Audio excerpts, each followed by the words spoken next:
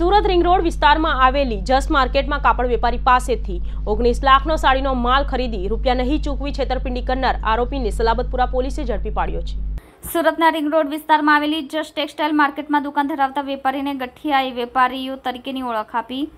ઓગણીસ લાખનો કાપડ લઈ હાથ ઊંચા કરી દેતા વેપારીએ સલાબતપુરા પોલીસ સ્ટેશનના દરવાજા ખખડાવવાની ફરજ પડી હતી. અવારનવાર લાખો રૂપિયાનો કાપડનો જથ્થો મંગાવી પૈસા સમયસર ચૂકવી દેવાના વચનો આપી.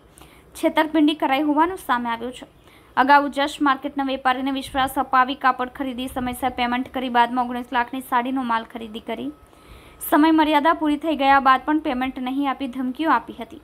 કાપડ માર્કેટની છેતરપિંડીના ગુનામાં ફરાર આરોપીઓને શોધી કાઢવા સલાબતપુરા પોલીસની સર્વેલન્સની ટીમ અને હ્યુમન રિસોર્સિંગની મદદથી આરોપીઓની વિગતો મેળવી હતી. જેમાં જસ્ટ ટેક્સટાઇલ માર્કેટના વેપારી સાથે ઓગણીસ લાખની છેતરપિંડી, આ ગુનાનો આરોપી રમેશ લવજીભાઈ સુરાણી તેમના વતનમાંથી ઝડપી પાડવામાં સફળતા મળી હતી. હાલ આરોપીની વધુ પૂછપરછ પીએસઆઈ એમ એન કાતરિયા કરી રહ્યા છે. કેમેરામેન હકીમ શેખ સાથે વસીમ હાસમીનો રિપોર્ટ આઝાદ ન્યૂઝ સુરત.